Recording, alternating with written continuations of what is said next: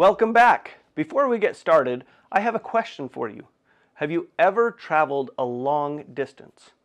I like going to Disneyland and there are a lot of ways I could get there, right? I could walk, I could run, I could ride a bike, drive a car, or take an airplane. Remember, we learned that math is just counting. And you already know how to count by ones.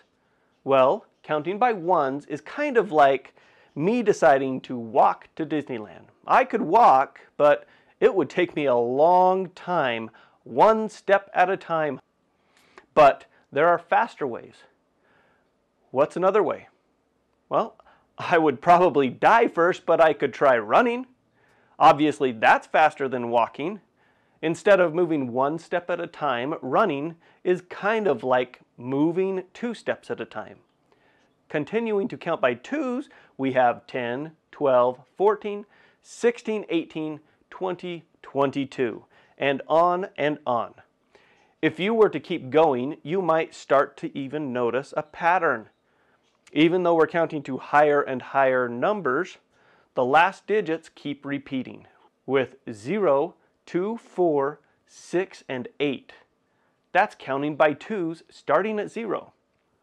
We can also count by twos starting with any other number. For example, we can start with 1 and count by twos, which would give us 1, 3, 5, 7, 9, 11, 13, and on and on. Just like starting with 0, you probably notice a pattern when we start with 1. Counting by ones is just called counting. When you count by any other number, such as by twos, we call that skip counting. It's called skip counting because, well, we're skipping numbers. Now, obviously, running is faster than walking, just like counting by twos is faster than counting by ones, but there are even faster ways for me to get to Disneyland, right? What's a faster way than running there? Well, I could drive a car. I've done that several times. Let's say that driving a car is like skip counting by fives. You can start skip counting with any number, but we'll just stick with starting with zero. Skip counting by fives will give us 0, 5, 10, 15, 20, 25, 30, 35, 40, 45, 50, 55, 60, 65, 70, 75, 80, 85, 90, 95, 100. See how fast we can count up to 100 when skip counting by fives? It's even easier and faster than counting by ones or twos. There's one last way I want to cover that's much better for traveling long distances, and that's traveling by airplane.